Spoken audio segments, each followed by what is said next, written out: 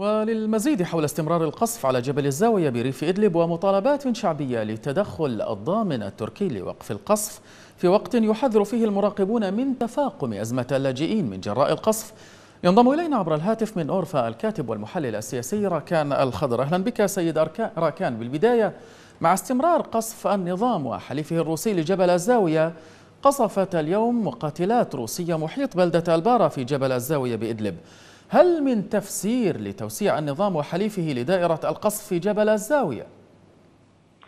مساء الخير عليك وعلى مشاهديك الكرام. أهلا بك. آه، أخي الكريم نحن وقعنا بين سندان نظام مجرم قاتل وحلفائه وبين مطرقة المجتمع الدولي المنافق الذي طالما صدع رؤوسنا بحقوق الإنسان وصدع رؤوسنا بالقوانين الدولية التي لا نراها تطبق نعم. عندما يكون تكون الضحية من العرب المسلمين السنة حصرا. ولكن نراها تقوم الدنيا وتقعد عندما آه، يكون الضحية من غير المسلمين السنة أو من غير العرب. لذلك نحن آه، يعني نضع اللائمة الأكبر على آه، الدول العربية الشقيقة وأيضا جامعة الدول العربية لكن ماذا عن تفسيرك لتوسيع دائرة القصف سيد راكان؟ تفسيركم الشخصي أو تفسيركم الخاص لتوسيع دائرة القصف في جبل الزاوية تفضل. سيدي الكريم لو كانت هناك إرادة دولية حقيقية لإيقاف هذه المجازر لما رأينا هذه المجازر.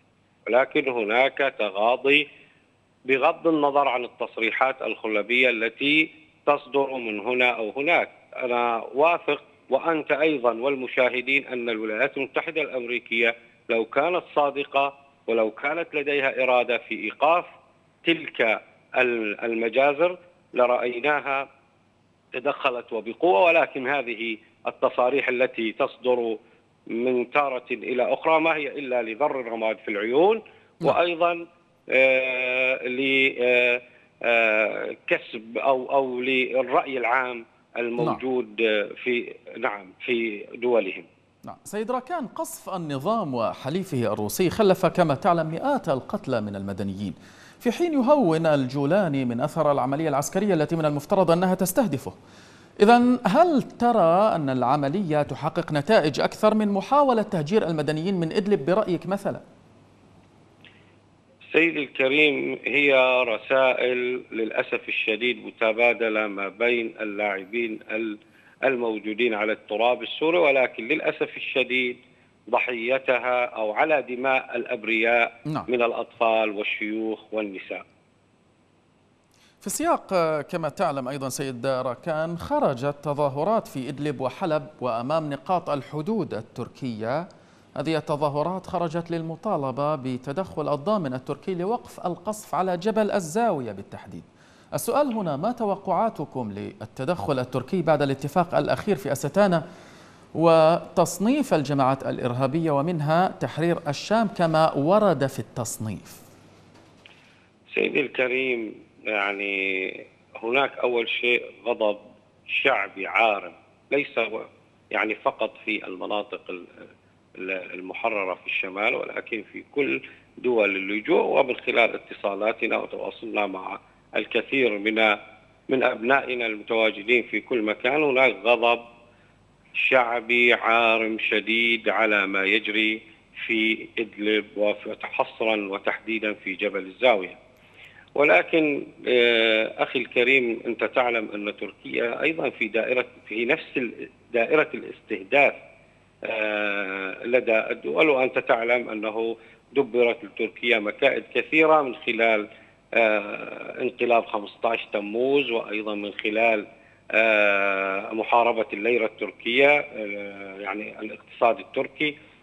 آه، فللأسف الشديد أنا واثق أن لو لو أن العالم العربي يقف صفا إلى صف وبجانب تركيا لكان الحديث قد تغير نعم. ولكن للأسف الشديد نحن وهم في دائرة استهداف واحدة وهناك نية لتوريط تركيا في حرب إقليمية آه، تكون هي الخاسر الأكبر حقيقة نعم. فيما لو دخلت هذه الحرب. في سؤالي الأخير إليك سيد راكان الخضر يعني المراقبون يرون أن استمرار القصف على جبل الزاوية واستهداف إدلب سيفجر أزمة لجوء جديدة.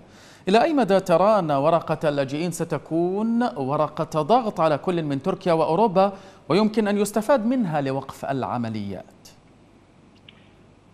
سيدي الكريم يعني للأسف الشديد هذا الوضع الغير محتمل والوضع المأساوي الذي يتعرض له أهلنا آه، مهما طال يعني الزمن أو نعم. الصمود آه، فإذا ما استمر القصف وبهذه الهمجية آه، حقيقة سيكون هناك هجرة كبيرة وهذه الهجرة أعتقد أنها ستستدعي استنفار كبير من الدول أو القارة الأوروبية آه، بحيث آه، يكون هناك ضغط كبير ومستمر على آه، روسيا وإيران والنظام السوري لإيقاف هذه المجازر.